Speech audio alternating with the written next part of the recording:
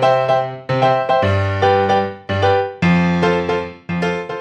Welcome back to my channel. I have another video for you guys. So, ito yung mga items na nabili ko or toys na nabili ko when I was in Japan. So, if uh, hindi nyo ako fina-follow sa Instagram, which uh, you might just want to, so andito, here is my username right here.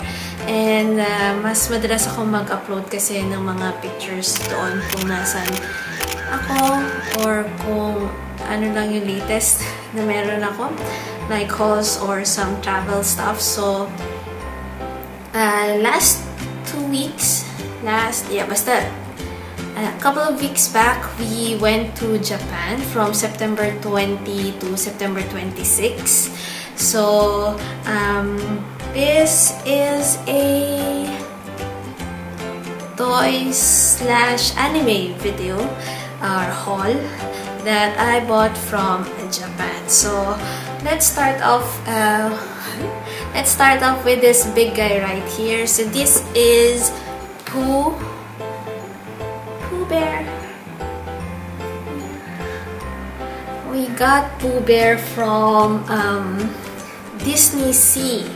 So, unique yung Disney Sea kasi sa Japan lang meron nun. So, Pooh Bear is like this. This is a very, very, very big Pooh. So, yan. Uh, siguro, masyado na akong malaki for this. Pero nung nakita ko siya, na-in-love ako kagad. Naisip ko kamukha siya ng asawa ko. Tapos, ang, ang cute niya. Naka, nakadapa siya sa kama. So, he actually lies flat nung binili ko siya doon sa ano. Tapos, para siyang baby kapag nakaano sa'yo, yung nakayakap. So, anyway, I bought this. This was uh, a little expensive. 5,800 yen yata yun. So, I'll write the equivalent in pesos, sorry, in pesos and in dirhams, if curious lang kayo. So, yan, parang asarap niyang damitan. Uh, yun lang, kaya gusto ko siyang bilhin. Saka, madalas akong uh, mag-isa lang or walang kasama. So, it's really nice to have this small guy with me. So, parang meron akong kausap. Saka, hindi nakakalungkot. He reminds me of my husband so much. So, that's why I bought him. And, you stay here. The back, sweetheart. Okay. Make it up. Okay, so next would uh, be this Pooh. So, hindi siya toy, pero it falls in the same category. So, I bought this also from Disney Sea. Uh, ano siya? Oh, headband. So, yeah, tanggal ang kilay ko. So, this, uh, I wanted to have as well. So, 1,600 yen for this uh, headband. Yeah. And then, yellow and red, yeah. So that is also from Disney Sea. The next is the one that we bought from um, when we went to Sky Tree. Oo, sa Japan. Sa Sky Tree, meron isang store doon na puro anime when you went down from Sky Tree. So, um, we found this. This is Shinchan. na na-inlove yung asawa ko. He likes this. He likes Shinchan stuffs. Pero, hindi stuffed toys. So, kung mga ganito, he is a tissue dispenser. So, meron siyang garter. And he looks like this. Naka-wow siya sa face mo. And so, kan ba to? Around 2,000 malala. 2,000 plus. 2,000 plus yen. So, yun. Looks very cute. Akala ko dadalhin to ng asawa ko sa work, pero sabi niya iwan lang daw niya dito sa bahay. So, that's cool. Kasama na sila ni Pooh. Pareho sila nakadapa. And mukha, pareho silang yellow and red. So, yun. That's why, same category na rin siya. Anime. Next would be a couple of things from Sailor Moon. Kasi kung kaidaran ko kayo or mas bata-bata ng konti, I'm pretty sure na naabutan niyo si Sailor Moon, si Chusagi So anyway, nung nasa channel ABC5 ba yun? Hindi ako sure kung ano ng channel nung time na yun na pinapalabas siya. So, ito yung mga items na binili ko. So, this one is also the same like the Pooh headband.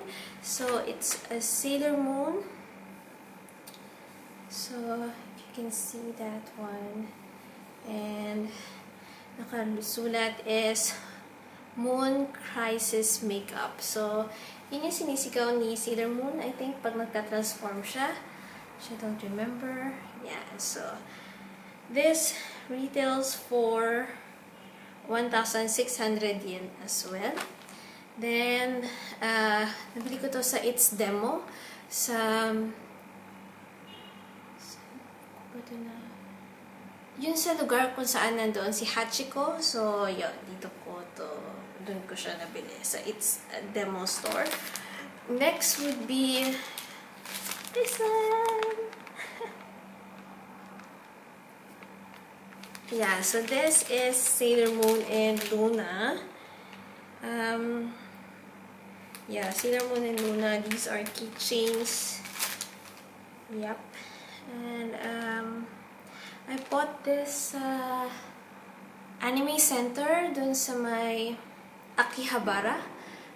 Yes, anime center sa Akihabara. So this retails for 1,800 yen.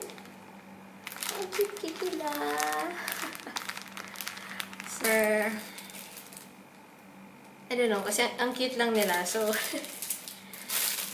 ah, hindi ko pa siya binubuksan.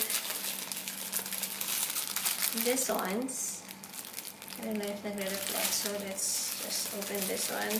This is 2,000 yen para sa limang brooch. Brooch pa to or something. Yung parang What do they have inside? Ayoko i-open. Ayoko i-open. Ayoko din malaman. Sailor Moon. These are mostly Sailor Moon. Ito yung mga ginagamit niya pag magta-transform na siya. eh. So, this is first one. Tapos, ito yung second.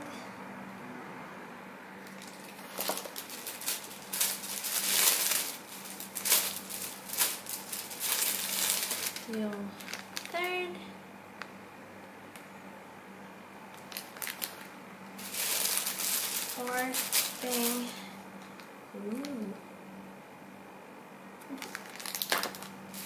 meron sila sa loob. Ano kasi nakabukas? So, I don't know. So, this is the fifth one. May pakpak siya nakahiwalay. Okay. So, ah, complete set. So, it has like five of them for you to collect. And I have all five of them. That's nice. Only for 2,000 yen.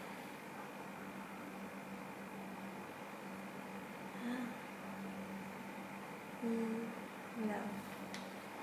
Ano mo yung feeling na nabibili mo na ngayon yung mga hindi mo mabili dati? So, yun. Just happy na uh, may chance kami to go to Japan and explore the place and see these beautiful animes again.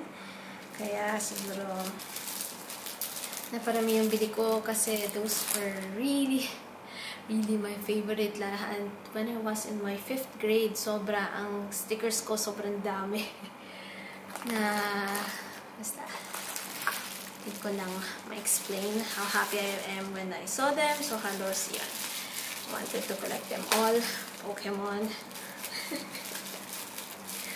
so next is a action figure. Tama ba? Parang tama naman. So, it was packed like this kasi wala silang box. But this is Sailor Moon. ko pa lang siya ino-open.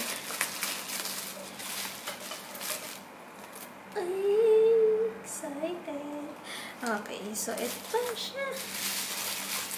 Kung kaibigan kayo, ko kayo sa Facebook, nung una ko itong nakita, parang ayokong bilhin kasi parang medyo mahal. Tapos, so ang dami nag-comment why I didn't bought it.